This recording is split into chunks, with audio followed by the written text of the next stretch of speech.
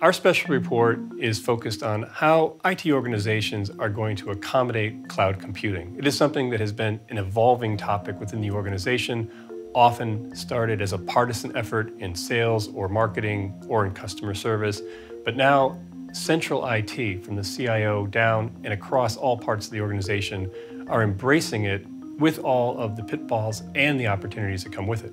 It is so critical for businesses to adopt cloud computing for a number of reasons, one of which is that most of the technologies that are evolving and have evolved over the last five or six years are on a cloud model, which means that organizations who are not focused on cloud are essentially either supporting legacy systems or adopting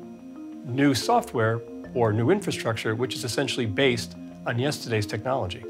One of the big challenges, or one of the big mistakes that some of the businesses have made in the past, has been to think about an all or none. Either I am a legacy company or I am a cloud company. Whereas the reality is neither of these. We have to embrace what some of our research calls a hybrid infrastructure or a hybrid integration, whereas you're going to have some of your core systems remaining for a long period of time, perhaps the next 5, 10, or even 15 years as legacy because they work, older billing systems, older ERP manufacturing systems, but then embrace the fact that the flexibility, the agility, the new functionality, the lower IT costs that come with cloud are going to really make the cloud model a much more favorable one to adopt. Evolving your business from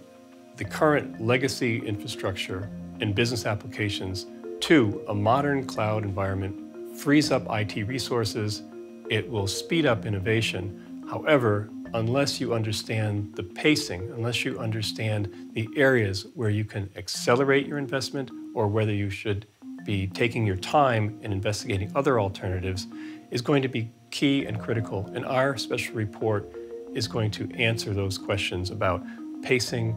areas, industries, applications that should and should not go to the cloud now, today, and in the future.